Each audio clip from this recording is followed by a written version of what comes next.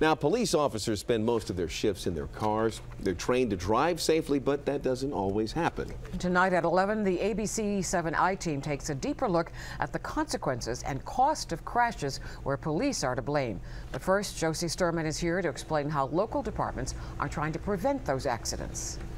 Well, Maureen, those accidents happen more than you think. We found hundreds of them in reports we obtained from six major jurisdictions. The local departments we've spoken with say dropping those numbers is a priority to protect you and their officers.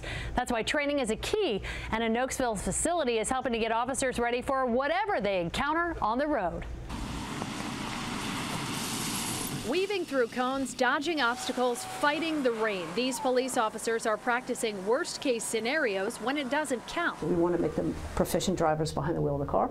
We want to enhance their skills, and we want to make them very good decision makers. Because the decisions officers make have an impact on public safety.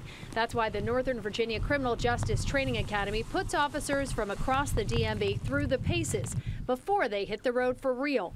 The goal is to prevent police involved accidents by building skills behind the wheel. They have to think before they actually engage. Here they engage in on the road training, and they took us along as they put cops through controlled crisis. We want them to really induce a good skid, something like this. It's intensive training from the outside in with recruits and officers getting retraining on simulators that push the limits. You come to a complete stop, that red light, clear that intersection.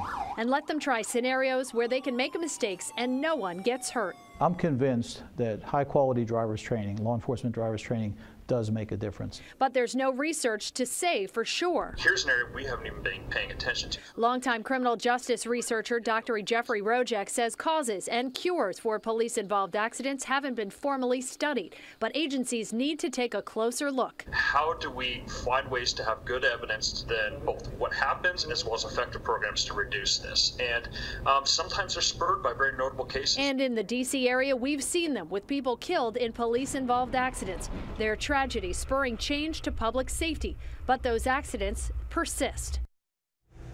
And tonight at 11, we'll break down the crash numbers for the police departments where you live. And we'll hear from local people who have felt the impact of those accidents. And we'll show you how those crashes ultimately end up costing you. Josie Sturman, ABC 7 News. Leon? All right, thank you.